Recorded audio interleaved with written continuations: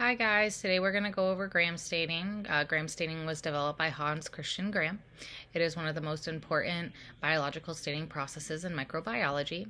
The stain is a differential stain, which means that we're going to use um, two different colors, um, and this helps us separate um, all known bacteria into two groups, which is gram negative and gram positive. The gram stain is an um, is a dependent on the construction of the the bacterial cell walls. Um, the peptidoglycan layer and the cell will either retain or lose um, the first dye, and that will help cause it to be pink or purple. Um, the difference between the two groups, gram positive and gram negative, is gram positive bacteria has a thick peptidoglycan layer with no outer lipid membrane, and the gram negative has a thin peptidoglycan layer and has um, an outer lipid membrane. Um, before we go through the gram procedure, we need to be sure we have all the necessary materials to perform um, the gram stain.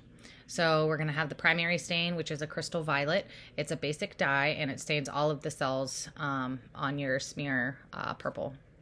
And then we have the mordant, which is also an iodine. This binds with the crystal violet and forms an insoluble crystal violet iodine complex. The cell the cell um, will remain purple during this step. After that, we're going to go ahead, we're going to add the decolorizer. The decolorizer is a 95% alcohol and it helps leach the dye and it decolorizes them. So the gram positive cells are still able to retain the dye and um, the mordant complex and remain purple. And then finally, we're going to have the counter stain, the safranin, and this um, stains the colorless or the gram negative um, a pink color.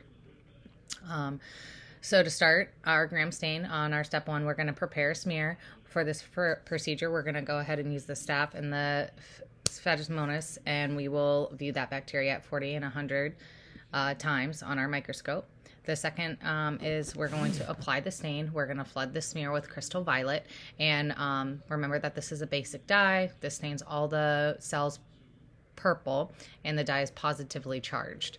Um, it is attracted to the negative charge of the bacterial cell wall and we'll let this sit for one minute and then rinse with water and um, it'll remove the excess stain. The sec the third step would be to apply the mordant, the um, the iodine solution. So we'll go ahead, we'll flood that smear again, and it will anchor onto the cell wall, and we'll let that sit for one minute as well. After that, we're going to go ahead and rinse and with water and it'll move all of our excess iodine. Um, step five is our decolorizer. Um, we'll drip decolorizer, which is um, 80% methanol and 20% um, um, acetone, and we'll put that across the slide. We're going to do this for a very short amount of time, so you should have your water ready. It will be about two to three seconds. Um, this will remove the outer membrane of the gram-negative bacteria, and it'll leach the dye out of the gram-negative cells, causing it to change color. Um, so we're going to rinse that immediately with um, the water to remove the excess alcohol. Uh, our seventh step is going to be um, the counter dye, which is the saffron solution. And we'll let that sit on for one minute, and the gram negative cell walls will pick that up um, in the dye. Our last step, uh, step eight, is to rinse and dry, and we'll go ahead and reserve, uh, observe that uh, smear that we have prepared. We'll rinse with water to remove any excess stain. We'll blot it dry and observe under the oil immersion. Gram-positive bacteria will retain the crystal violet and appear purple under the microscope, and our gram-negative will appear pink under the microscope. Uh, gram stain is used clinically with a culture of samples uh, from an infected site um, on a patient.